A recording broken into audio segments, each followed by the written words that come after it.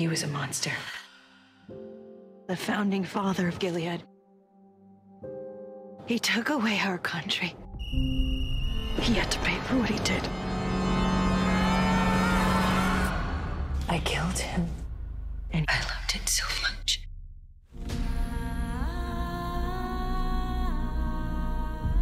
June tore him apart.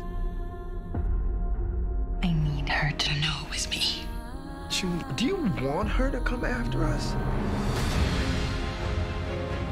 There's no way that she could have gotten to Fred on her own. Serena doesn't know what happened. Doesn't matter what she knows.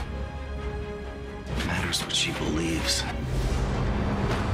Serena has the whole world behind her. She is bringing it here. Gilead. My job is to protect you. Don't you dare tell me you can protect me from her! Scared can be very dangerous. She will always be dangerous.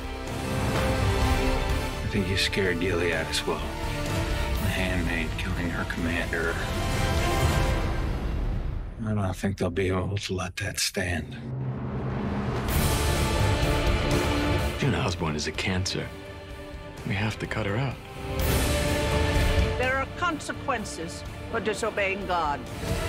Gilead wants to see us suffer. Just keep yourself safe.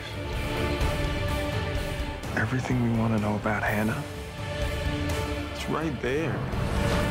I'm not gonna be looking for somebody going back into Gilead. I'm going. I'm going with you. If you're not careful, she will pull you down with her. I pray for our children.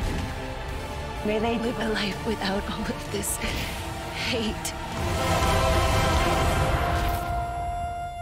Dear God, may they do better than we did.